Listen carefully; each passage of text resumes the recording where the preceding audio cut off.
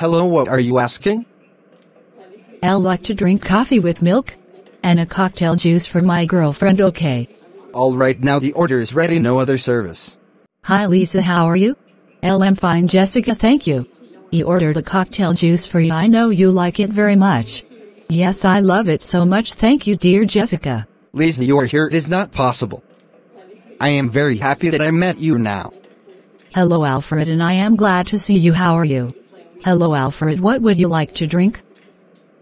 I'll ask for tea and cake. How are you, Lisa, and you, Jessica? I hope you are well.